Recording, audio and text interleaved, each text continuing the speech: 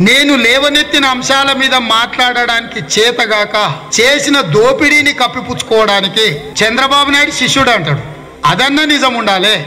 RSS నేపథ్యం అంటాడు. ఇదన్నా నిజం ఉండాలే. మళ్ళీ ఫోటోలు పెడతారు. మా టీఆర్ఎస్ అంతకుముందు ఉన్నాడు మా ఓడే అని.